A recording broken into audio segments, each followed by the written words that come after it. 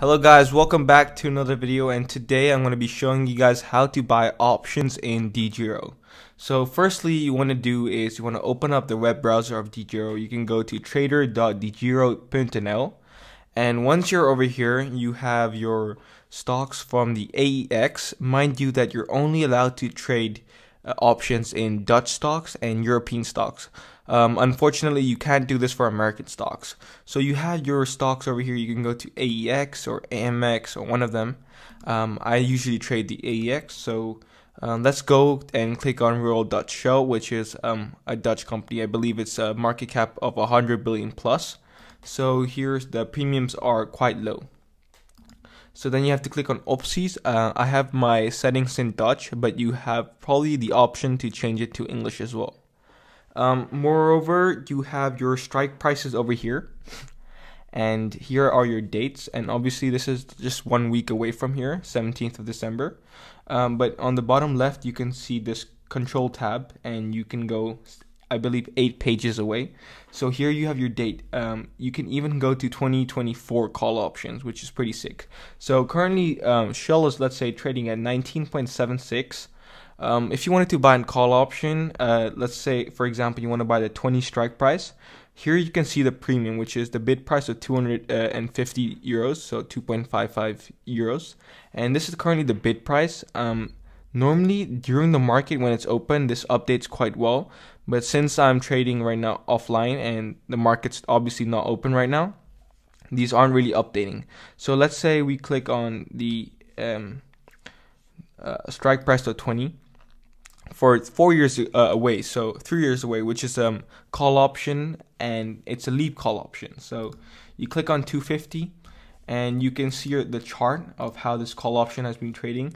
Obviously, with this new corona variant, um, last week it went to 1.83 and is up 50% this call option. And there was some like scarcity, I guess, with this new variant of COVID. And I, I believe Shell fell like 8% one day. So you can see it went to 1.83. And six months, it's doing quite okay. So, how do you exactly buy this? So, you have to click on Koop and once you click on Koop, you have to do limit order. So let's say you, you want to buy it for 2.47, whatever the price is then. So you do 2.47, you type it in with a comma over here, and in your phone you do it also with a comma. And let's say you want to buy one. So now when you want to buy one, if you know an option contract comes within uh, within 100 contracts. So this contract would cost you 247 euros plus 85 cents commission. So then you all you have to do is do Plaats order and here okay it's actually 2 euro 47 um yeah 85 cents commission and then you have to do bevestig okay? Um i'm going to do annul like i want to say no to this right now but let's say you're bearish on the stock and you think you want to hedge your position. Let's say you have a huge stock position in the stock and you want to hedge this position just in case Shell, Shell, Shell stays below $20. And then you'll be able to get this $247. Um, but your upside is limited uh, within your stock because if it goes above 20 point, uh, 22.47, you're going to start losing money. So the same way it works with Verkoop, you do the 2.47 and you do 1 and then you do Plaats order. So this is actually called a covered call. Um, but covered calls are usually like a shorter date. This is obviously three years away, so I wouldn't recommend this. But in the short term, you can always go a bit closer. Um, uh, let's say um, to January or February with a 20 call, in which you'll receive one dollar in premium.